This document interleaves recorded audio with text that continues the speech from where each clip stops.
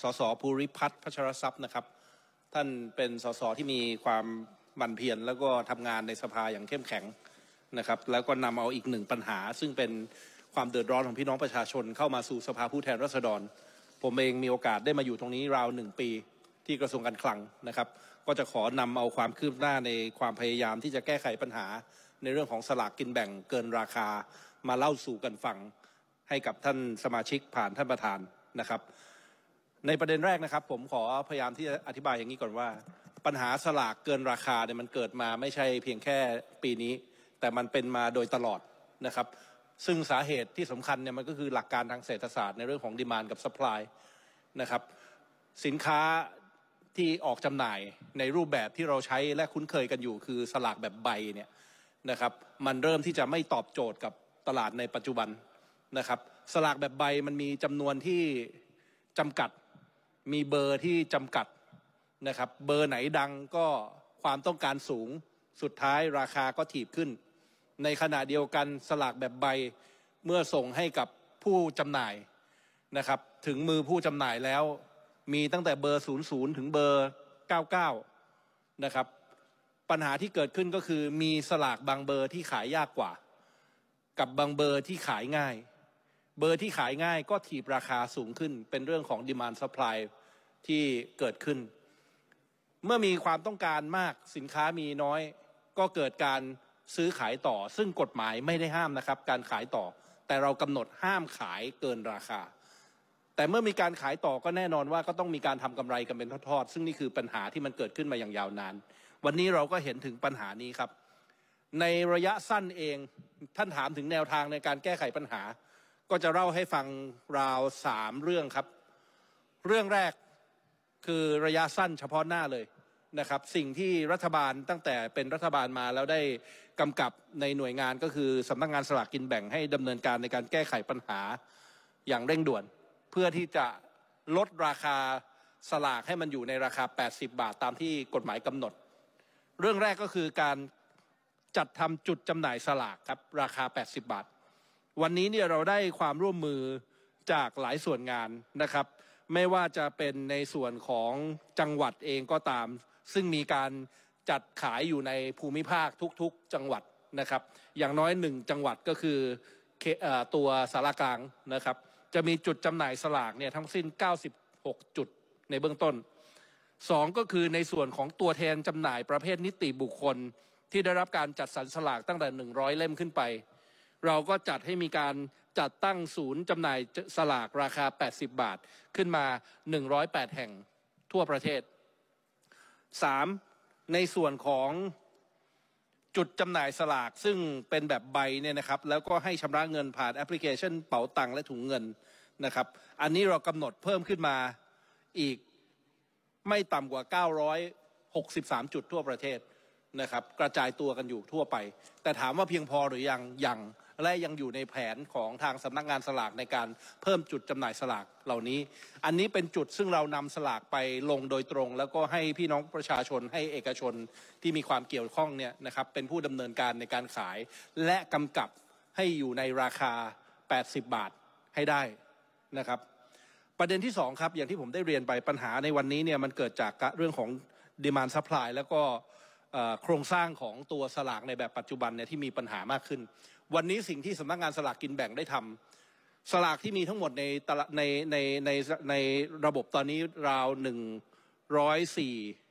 ขอโทษนะครับหนึ่งร้อยสี่ล้านเล่มเนี่ยนะครับ แบ่งออกเป็นสลากแบบปกติเนี่ยแปดสิบล้านครับ เป็นสลากแบบดิจิตอล24ล้าน สลากดิจิตอลเนี่ยนะครับเป็นกลไกที่เราพยายามนำเอาเทคโนโลยีเข้ามาจับกับเรื่องของการขายการซื้อขายแลกเปลี่ยนสลาก สามารถใช้แอป เช่นเป๋าตังเนี่ยซื้อขายสลากได้ เมื่อซื้อแล้วแน่นอนครับ มันใช้ผ่านกลไกของแอปพลิเคชันทำให้สามารถกำหนดราคาได้อย่างแน่นอนว่า จะไม่สามารถตั้งราคาขายเกินกว่าราคา 80 บาทได้ ซึ่งในจุดนี้เนี่ยต้องเรียนด้วยความเคารพว่าเราสามารถแก้ไขปัญหาในเบื้องต้นได้แล้ว 24 ล้าน แต่ในส่วน 80 ล้านที่เหลือ ต้องเรียนด้วยความเคารพว่าเรามีแผนในการที่จะค่อยๆ ถ่ายโอน เปลี่ยนแปลงเพื่อนำเอาเทคโนโลยีเนี่ยมาจับให้ได้ครบตามจำนวนในที่สุด แต่ต้องยอมรับความจริงครับ วันนี้เนี่ยเรามีกลไกเรื่องของสลากเนี่ยมันไม่ใช่เพียงแค่เรื่องของการ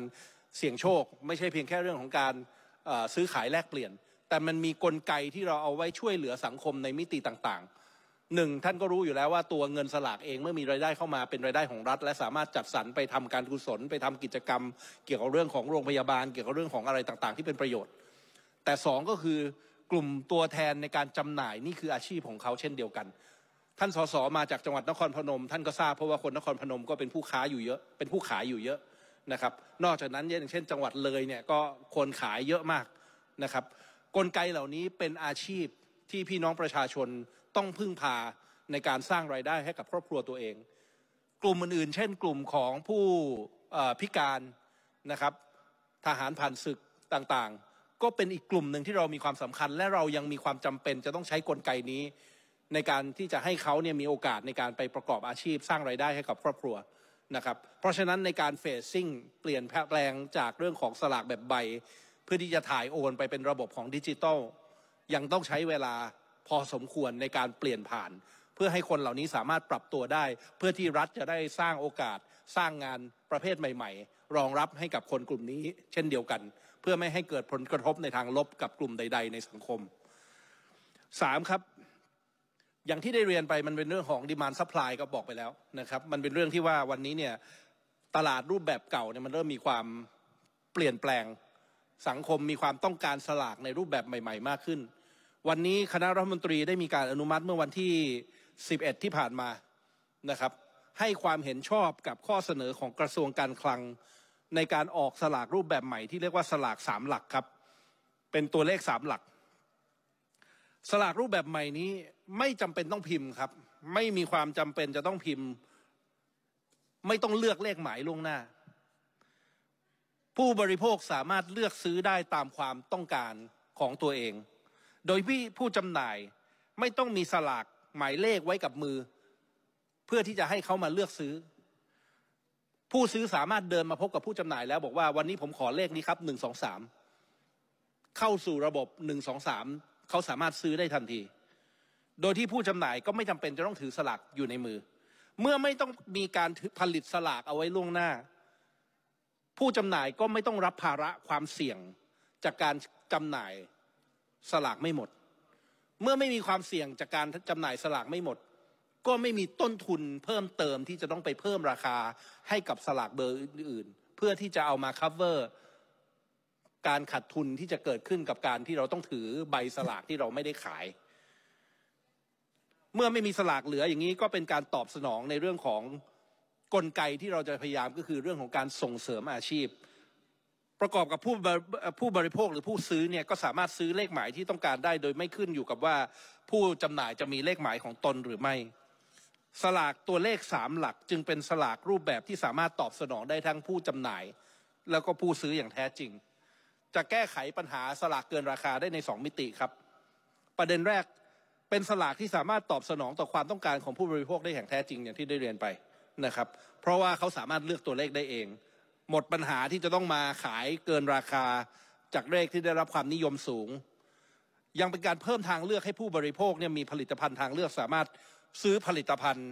ที่อยู่ในราคาที่กำหนดได้มากขึ้น ก็จะทำให้สลากที่ยังขายเกินราคาเนี่ยนะครับ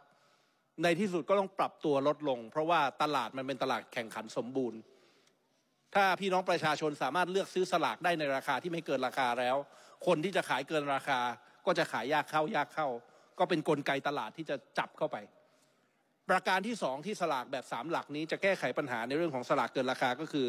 สามารถตอบสนองความต้องการของผู้จำหน่ายครับ ประการแรกในผู้จำหน่ายไม่ต้องหาเงินมาลงทุนครับ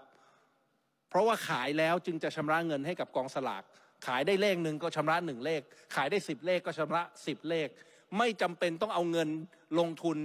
เป็นแสนเป็นหมื่น เพื่อที่จะไปจ่ายเงินซื้อสลากเป็นเล่มแล้วมาถือ แล้วมาเดินเร่ขาย หวังว่ามันจะขายหมด ประการที่สองครับ สามารถจัดสรรให้ได้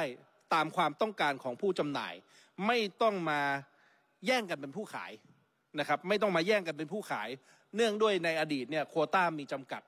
ก็ต้องมาแข่งแย่งชิงดีกันมาแย่งกันว่า ใครจะได้เบอร์สวย ใครจะได้เลขดี ใครจะได้เล่มมีการเอาไปแบ่งจัดสรรกัน แต่ในวันนี้เนี่ยเราไม่มีจำกัดจำนวน สามารถที่จะซื้อเลขที่เป็นมีความนิยมได้ เต็มที่ครับ ซื้อเท่าไหร่ก็เท่านั้น เพราะนี่คือสลากกินแบ่ง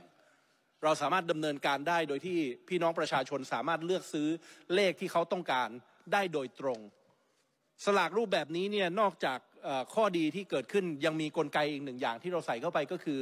ในกรณีที่ไม่มีคนถูกรางวัล อยู่ในจำนวนที่เพียงพอที่จะเอาตามสัดส่วนของรางวัลเนี่ยรางวัลในส่วนที่เหลือยังสามารถยกยอดไปในงวดถัดไปได้หนึ่งงวด ก็จะทำให้มูลค่าของการรางวัลในงวดถัดไปเนี่ยใหญ่ขึ้นไปตามลำดับ ทางคณะรัฐมนตรีครับได้เห็นชอบกับสิ่งที่กระทรวงการคลังเสนอแล้วเมื่อวันที่ 11 มิถุนายนที่ผ่านมานะครับวันนี้อยู่ในขั้นตอนที่สำนักงานสลากกินแบ่งกำลังดำเนินการร่วมกับหน่วยงานที่เกี่ยวข้องเพื่อพัฒนาระบบเกี่ยวกับสลากกินแบ่งตัวเลขสามหลักต่อไป จะมีการทำ sandboxในเร็ววันนี้